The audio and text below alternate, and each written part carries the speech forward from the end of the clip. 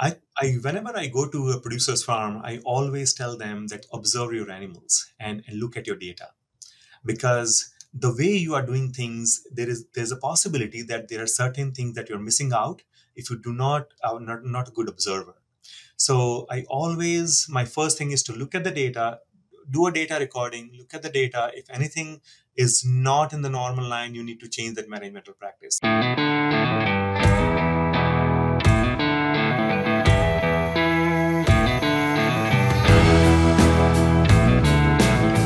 Welcome to the Beef Podcast. I'm one of your hosts, Brandy Buzzard, and it's my pleasure to bring you the trending issues and topics with the best and brightest minds of the beef industry. Today, we are joined by Dr. Diwakar Vyas, who is an assistant professor of ruminant nutrition at the University of Florida. Florida.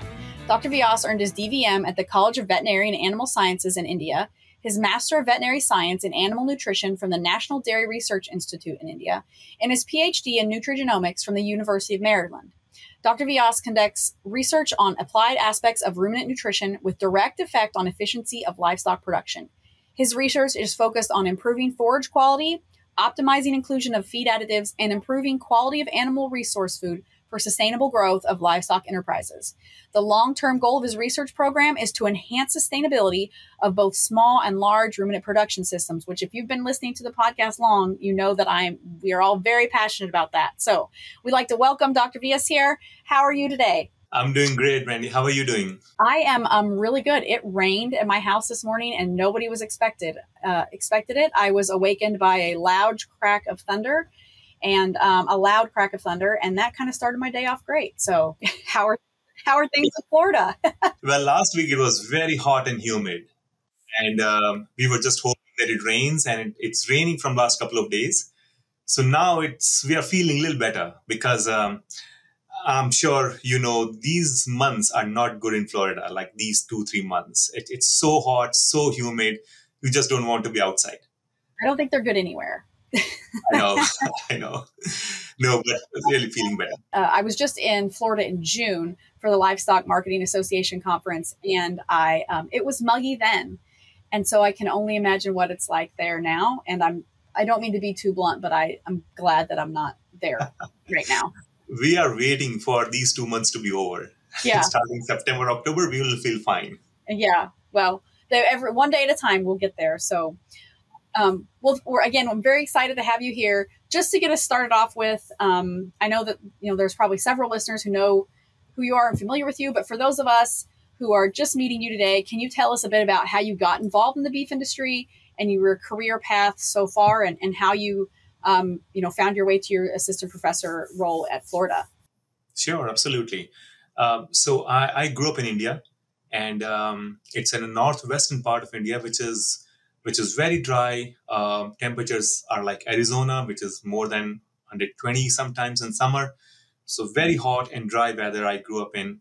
And my very first experience of getting to animal sciences was when I got into my doctorate of veterinary medicine program.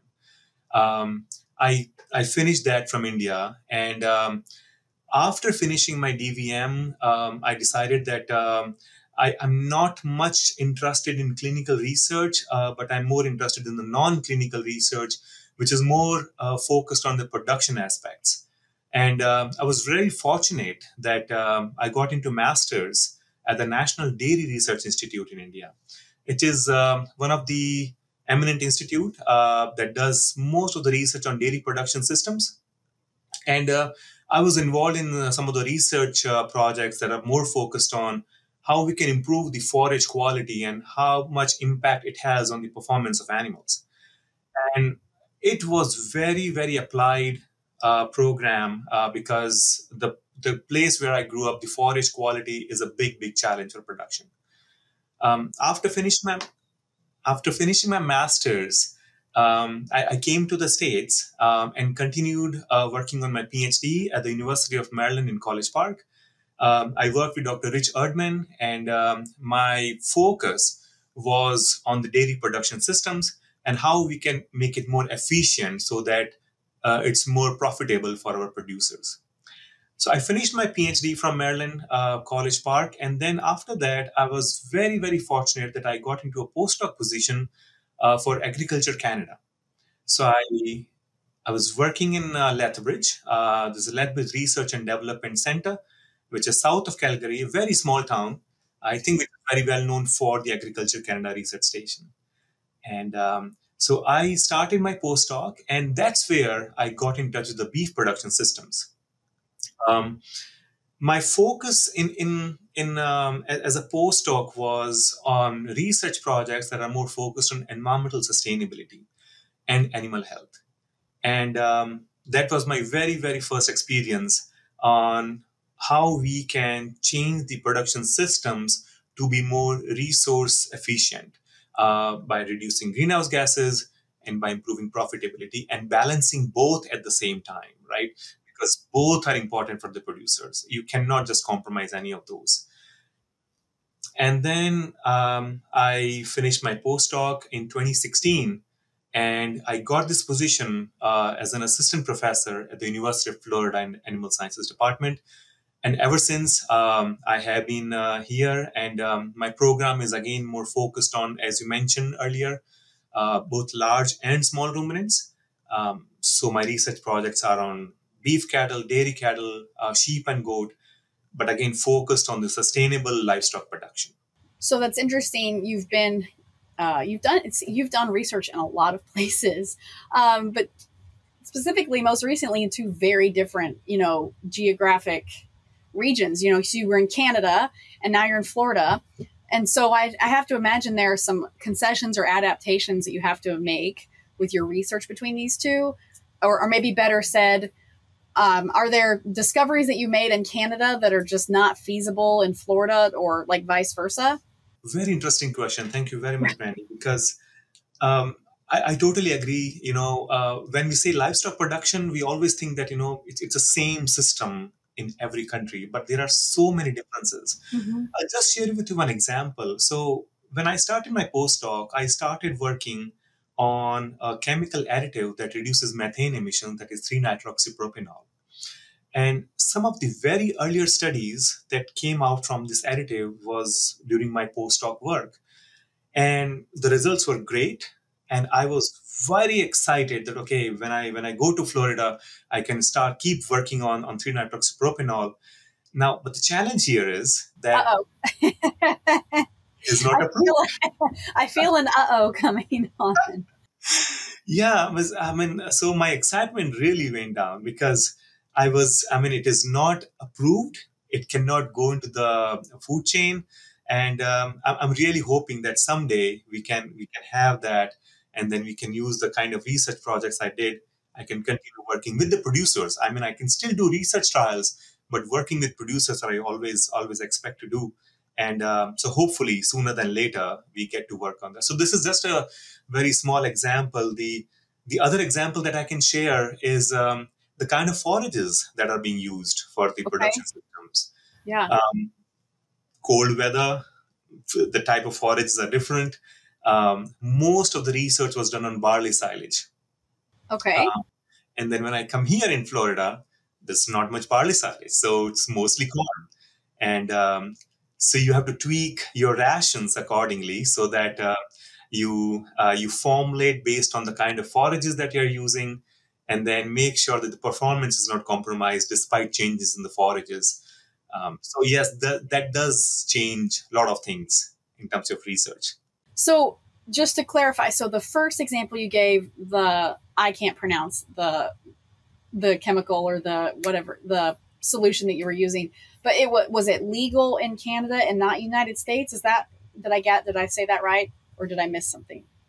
Um, so even in Canada, uh, we only use that for the research because it that product is still in the testing phase. Oh, okay. Now I understand. It's just it's not a you can I understand now. You can use it in research but not. Yes. I'm I'm I'm following now. Okay. Yes, that's correct. And when when we think about um, um, greenhouse gas mitigation, that product has shown consistent mitigation of greenhouse gases. Mm-hmm. So when we started when, when we proved that concept that yes this product is working, I was really excited that we can use that at the farm mm-hmm. and, um, and then make make the entire production system more sustainable, whether it's a grazing management system or the intensive systems. But we are still waiting for approval. Right. and that's that what changes everything so is it is that approval coming in the next year or two or five do you have any do you have any guidance on when it might happen I hope so. I really hope so. So I, I don't know. I really don't know the nitty gritties of, of this approval process, but I really hope that it, it comes sooner than later. Right, right. Well, so that's research that you've done in the past. Do you, um, what are you, like, what are you excited about and working on right now? Maybe in that, like, just to narrow it down, like in your sustainability feed additives area. Can you tell us about some of your research you're working on right now in that in that area? Oh, sure, sure. Um, so most of my research is focused on feed additives and um, how we can optimize the inclusion of feed additives to make sure the performance is more efficient. Uh, so animals use less resources and they produce at an optimal level. That that's what my goal is. And we have tested different kinds of feed additives. Um, so right now, what I am excited about is the another area that I'm getting into that is more life cycle assessment. Oh, okay. And, and, the reason I'm, I'm really excited about this area because when we use feed additives, that, that that's what I've used for my research projects, you just mitigate the enteric methane emissions that is coming from the feed fermentation. But there is a possibility that there are other factors in the production systems that have not been taken into account. So, yes, you can reduce methane emissions, but what if the emissions from the manure goes up because of the feed additive? Yeah. Um, yes, you, you you decrease methane emissions, you decrease nitrous oxide emissions from manure, but what if the transport of that feed additive to the farm is is resulting in a carbon dioxide emissions that adds up to the greenhouse gases? So that means you have to take the complete life cycle uh, uh, of the production system into the picture to make sure that we develop some strategies that are more sustainable taking the entire life cycle in the picture. So we have just started a couple of projects here. Uh, one project that we have just wrapped up was um, we went to different cow calf operations in Florida, and then we went to North, Central, and South Florida. We went to different cow calf production systems. We met with the producers.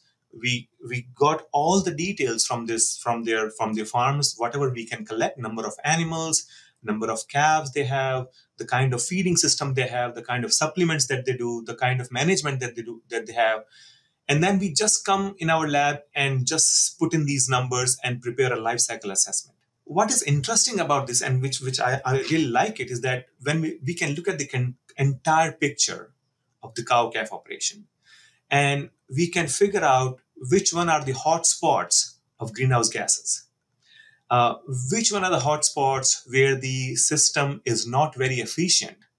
And then we can go back to the producers and then share our findings with them and say that okay some of these findings are from the life cycle assessments and then these are the parts in your managemental practices that needs to be taken care of that will improve not only the environmental sustainability but also the economic sustainability of these operations. So and, and the other part, which I would like to mention here, which, which again I'm very excited about, is introducing a concept of net protein contribution. Because there is always a, a discussion um, in the social media, at least. uh, there's a competition for food and feed, right? So we are growing uh, feed for for animals, and we could have grown food for human consumption. So there is a competition. Now, there was a paper that came out, I think, few years back. They looked at how much of this human edible food that is going in for feeding animals. Right. Hmm.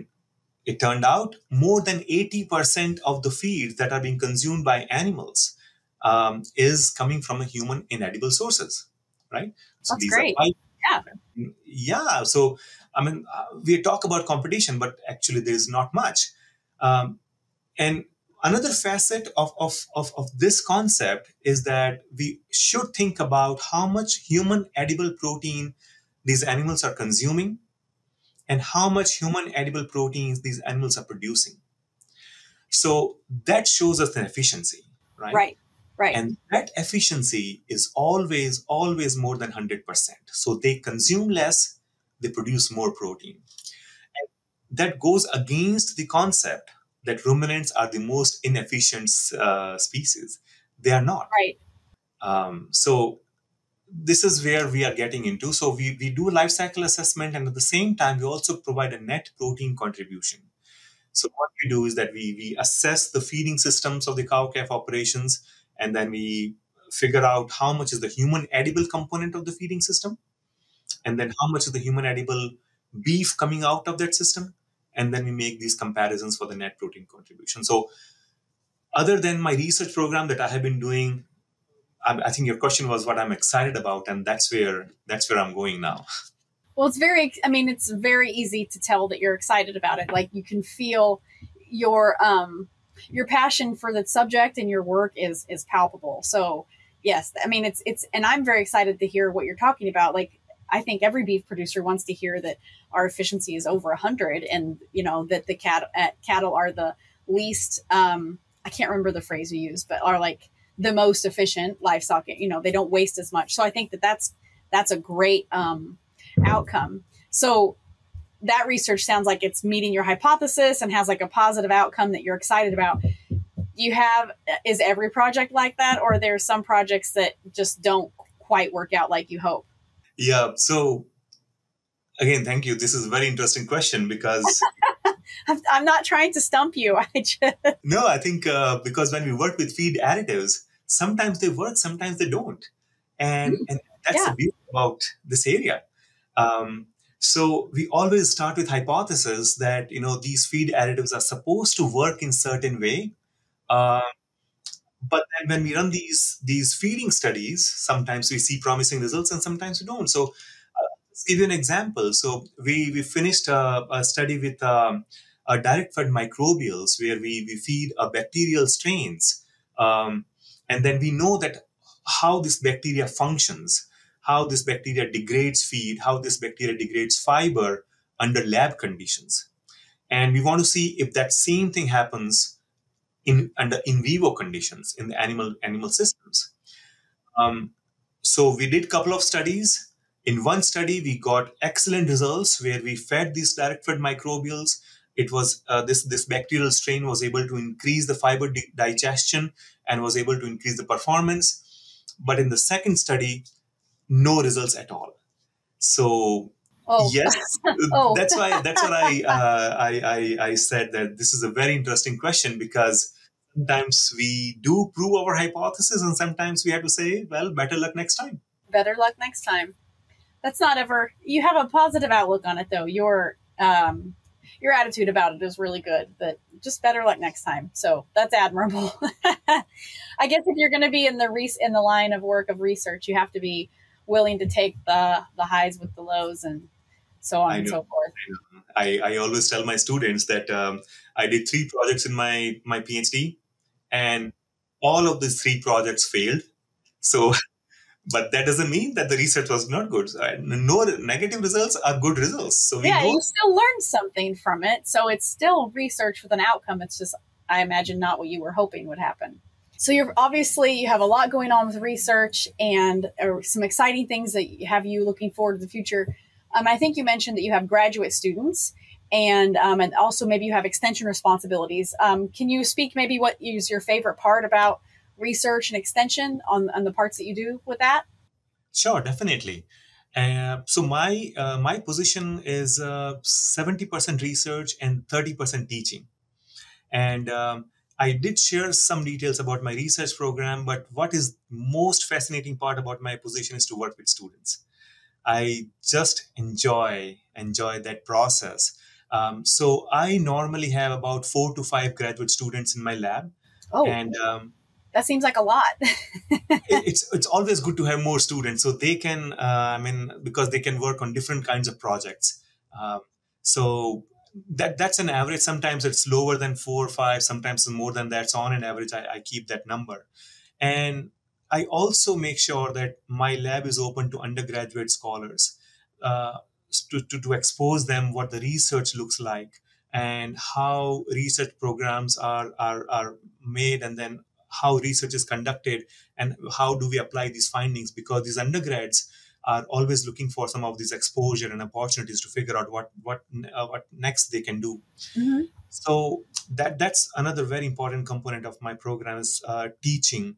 Um, so with my graduate students, um, they, they are mostly involved in research, but for my teaching component, uh, I, I have one undergraduate course which is more focused on animal nutrition, that is food, animal nutrition, and feeding, where I cover beef cattle nutrition, dairy cattle nutrition, and swine nutrition because these are all food animals.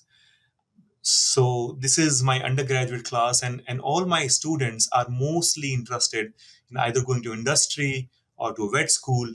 Um, some of the students do uh, go and pursue their graduate school, uh, and they're interested in research. So that I offer once every year, and and the second course that I offer as part of my teaching portfolio is principles of forage quality evaluation. Oh, okay. And this is in line with the another objectives of my research program is to improve the forage quality. Because in Florida, I mean, yes, um, we can grow a lot of forages, but the problem is that the quality is, is really inferior. So that that program uh, I I have I, I, use that on my research part and that's also teaching portfolio. So this is principles of forage quality evaluations I offer once every two years.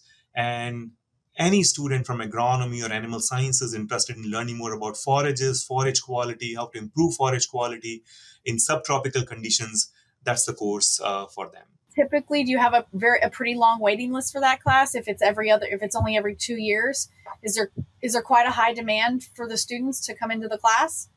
So I, I make sure that I have enough about 15 to 16 students in that class. And uh, to get 15 to 16 students, I need to offer it once every two years because, um, yes, we would like to get as many students as possible, but from agronomy and animal sciences, it at least takes two years to get that to get to that number. That's okay. Why. Oh, that makes sense. I understand. Yeah. Another very important component that we have in our department is um, we have also started international education where experts in different areas come together. Like I, I come from forage quality aspect, uh, other people, other experts come from uh, reproduction, uh, someone from nutrition. We all come together, we record our lectures, and we offer these recordings uh, to, to students who are interested. Uh, and also, not only in the US, but also outside of the country that's very valuable to have that kind of education and materials like at your fin- or at their fingertips uh, if they need to go back and reference or just be able to to view it you know for their own personal development. That's great. Yeah i, I totally agree. And um, there has been much demand about uh, some of these courses because these are offered from experts uh, from the university of florida and then they cover specific areas. So that's why uh, these courses are in much demand. And so are they I, is it multiple departments or is it like animal science and agronomy and uh, is it or is it all the same department like all animal science? Yeah multiple departments because we have uh, colleagues from agronomy animal sciences veterinary medicine and so these three departments we collaborate on on different areas and then we we provide our uh, recordings. Oh, okay. That's great. That's very valuable. That super valuable. I, I, I, totally agree. And and i think uh, in one of your question you mentioned about extension. Um, I, I don't have extension responsibility, but but as as I mentioned earlier, you can never run away from extension. Um, so that's the headline. You can never run away from extension. because you know when you want to work with producers, that's your extension component. That's right. And, and again, this is very fascinating uh, to share research ideas. Uh, to the producers because here we are very fortunate that our producers are very much interested in uh, in learning uh, and also collaborating with us. Um, so we have a milk checkoff program. We have uh, the Florida Cattlemen uh, Enhancement Board that provide research fundings. Um, and uh, we, we do get these projects funded from these uh, producer organizations that are very applied. So most of these projects have research as well as extension component. And so we have field days. Uh, we go to the producer's farm and then uh, we share results. Sometimes we do some experiments at their farm. So it's a very good collaboration. And, and, and it's, it's I'm, sometimes I consider myself very fortunate to be, to be in this area where producers are so receptive uh, to changes and to changes management based on the research information that we generate.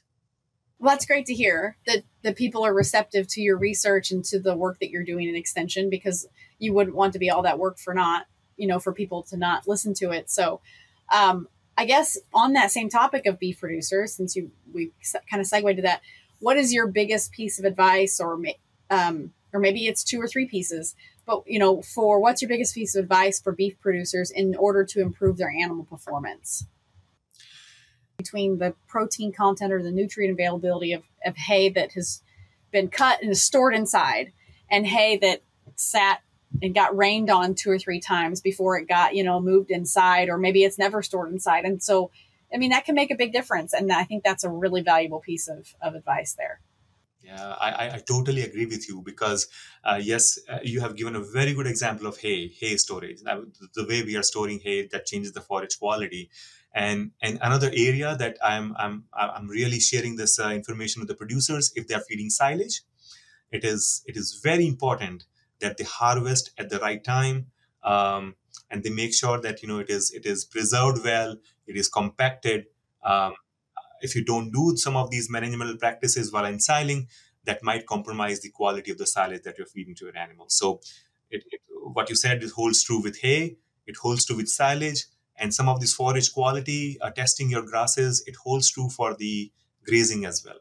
We've had that experience firsthand unfortunately like where the silage didn't get packed um, we do forage sorghum, so sorghum silage, and it didn't get packed well enough, and so it it just spoiled. So we had you know all the money invested in in the seed and the growing, and then paying the custom people to chop it and and then pack it, and then it just it was, was wasted. Like you know all the and then unfortunately in a sustainability aspect, like all the water and resources that went into it, like that was also so that was very frustrating.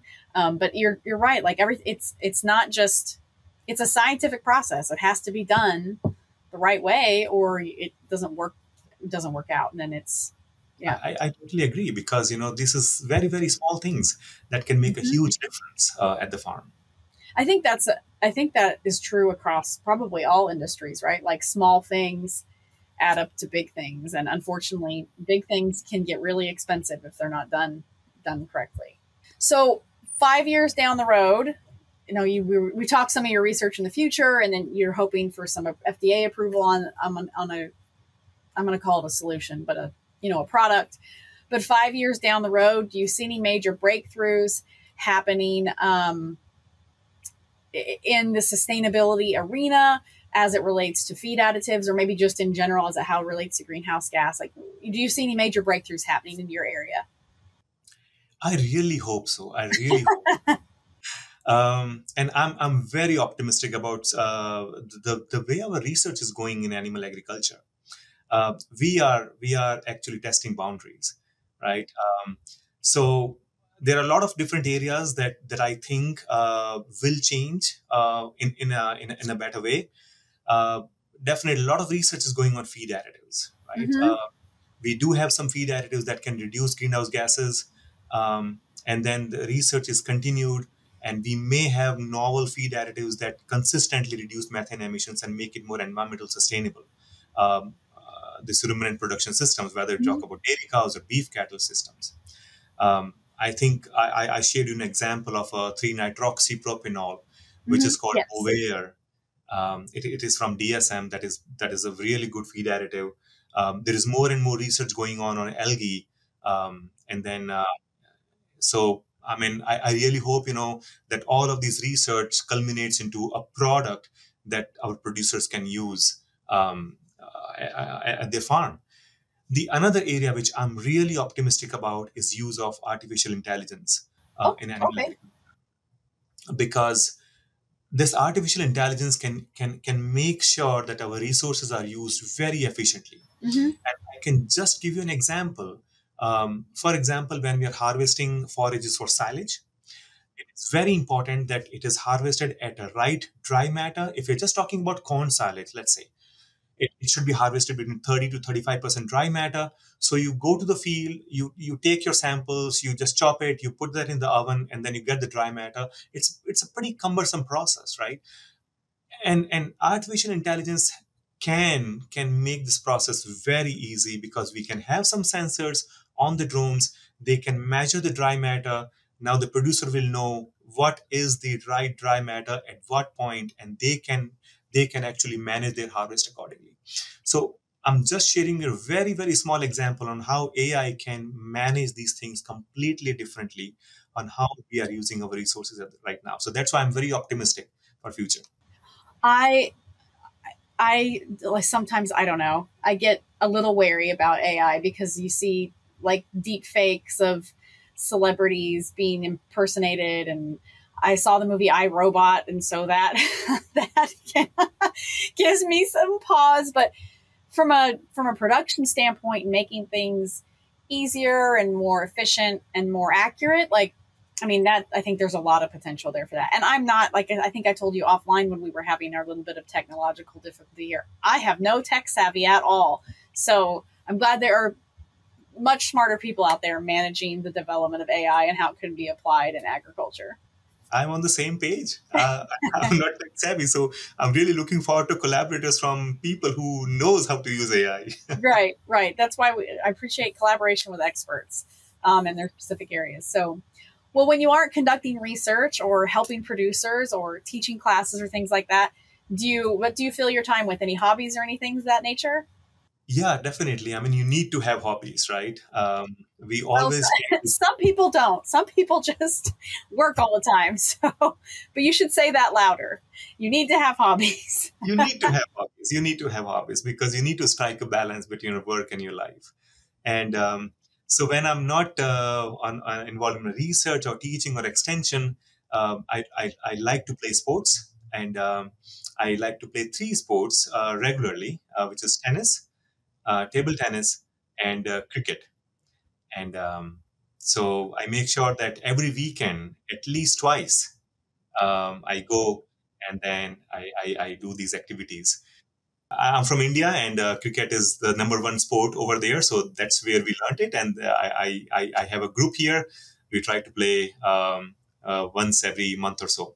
So yeah, these are the hobbies. And uh, sometimes when I, I get time, I really like to read uh, some books and uh, mostly autobiographies. I, I, I, like to learn um, from some like autobiographies.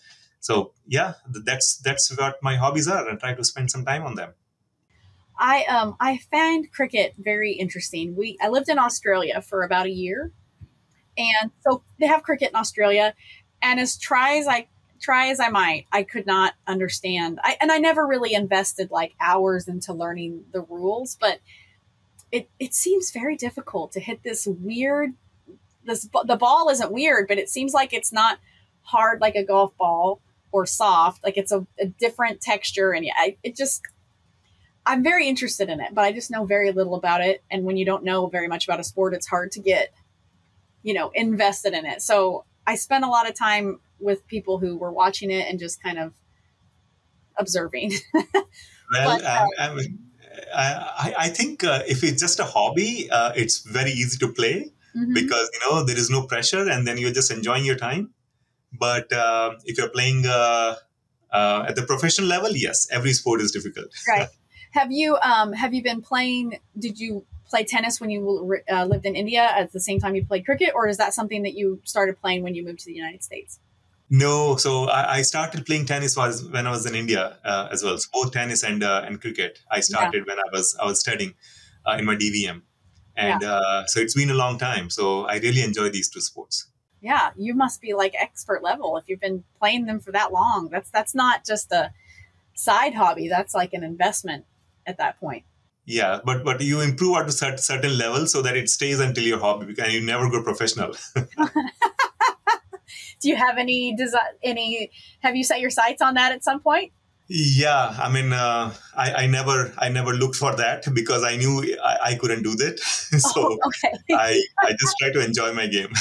okay, well, that's fair enough. We have a time and labor saving product for you. Beef and Dairy AgriSlat by Healthy Farms is your solution. No more lugging jugs around the barn every month. With Beef and Dairy AgriSlat, you simply drop the slat through the floor twice a year, and it works to break down solids, reduces crusting and forming. To learn more, visit myhealthyfarms.com. Well, that's all the questions about your specific research that we have today. But I do have to ask you, we asked the same three questions of every guest. And so the, and I gave you a heads up on these. Um, I don't like to spring them on people as a surprise. So what is your favorite beef or cattle related book or resource or like website, or maybe it's a, an extension pamphlet or something like that, or maybe it's just a book? Yes. So beef related book, um, there are a couple that that I can uh, I can uh, recommend because again I, am mostly researcher. I, I, try to to get more research information from from these books. So one that uh, that is my go to book for nutrition is a nutritional ecology of ruminants. Uh, this is by uh, Dr. Van Soest. Um, very old book. I think it was written in 70s and then more updated versions came later on but I, I like that book a lot because that discusses a very fundamental concepts of nutrition for ruminants. And um, Dr. Van Soest is one of uh, the stalwarts in the field of ruminant nutrition. And uh, this book came from him. So I, I, get to learn a lot from, from that book. Um, and, and the second book that, that I always, that, that is my go-to is, is NRC, um, National Research Council, because and again it is it is very fascinating because you know they, they, they add all the updated research information and how this is applied for the ration formulation to make sure that your diet that you're feeding to your animals are balanced and the and and, and it's good it's good for the performance so these are my two go-to books for for beef cattle well that sounds like a great resource that you use there at your fingertips for your for research and things of that nature. But what is a book that is not related to the beef industry that you really love or you're currently reading? Oh, um, I, as I mentioned earlier, I, I, really like autobiographies. And um, right now, I just finished um, a Shoe Dog from Phil Knight. Oh. It's a story of a Nike creator, and it's a fascinating book. And uh, I highly encourage anyone to read it because um, we only see the success, right? And um, when when we read this these kind of books, we see all the struggles that went behind uh, making such a great company. So I, I, I, like highly recommended book. I'll have to add that to my list because I really like sport. I, I love sports, and um, I've got the movie Air on my watch list about um, Nike and Mike, uh, Michael Jordan and such. So I'll have to add that. Yes, yes, yes. I'll have right. to add that book to my list. So and then, so our final question is what is a trait of someone that you look up to or admire that has enabled them to be successful? Oh, that's a very, very good question, Brandy. Thank you very much. Um, I, I have looked up to um, my mentors in my PhD, my mentors in my postdoc, my parents. And one thing that was very common to all of them was being helpful uh, to others. Um, and try to provide as much guidance as possible. And um, I have I have tried to use that trait for for for in, in my program for my students. So and I have seen that you know when my mentors that when when I was under the training phase, I didn't know much, and they were very patient. They were very helpful that's the trait I really admire because you know that takes your stress level down and that makes your learning experience very enjoyable. And and the second trait which I I loved um, from from my mentors was that they were consistently doing something that needed to be done. And this this brings me to this quote of Denzel Washington, and I'm not sure if you, if you if you have heard that, Brandy. It's it's without commitment, you never start, but without consistency, you never finish. And that's that's the trait I've seen with every successful people. If they are feeling bad, doesn't matter. They will just go ahead and they will work. If they are feeling great, that's fine. I mean, this is just a consistency in their work ethic. So I, I admire that trait and I try to inculcate that, but you know, it's easier said than done. yeah but that makes if it was easy everybody would do it. So it yeah exactly. That's right. It speaks that's to the consistency and the commitment that you were speaking about. So well thank you for sharing those things with us. Uh, we always like to know a little bit about you know your back you know out, outside of your professional um, areas. So thank you for sharing that. That is all the questions i have and all the time i have for today. Thank you for bearing with us today dr Vyas through all the technological difficulties but through our questions and things like that Um, really enjoy. We really appreciate you being here on the podcast show, and I really enjoyed getting to know you. If people want to find out more information about your research or follow you, um, where can they do that? So, um, to get more updates uh, on my research program, um, uh, please visit Animal Sciences website at the University of Florida. Uh, there is more updated information on the kind of projects that that we have.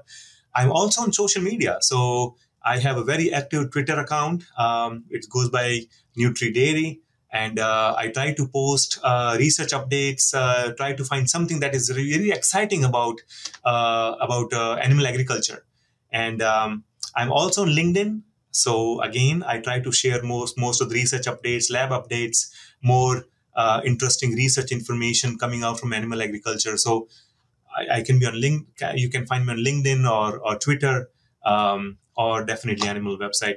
Uh, sorry, Animal Sciences website. Well, that's great. Um, we'll put make the per, we will make sure to put that in the show notes that you can follow Dr. Vyas on Twitter at NutriDairy or also on LinkedIn. Um, thank you again for being here with us, Dr. Vyas. We really appreciate it. And um, for our audience, thank you for joining us, and we hope you'll join us next week on the Beef Podcast.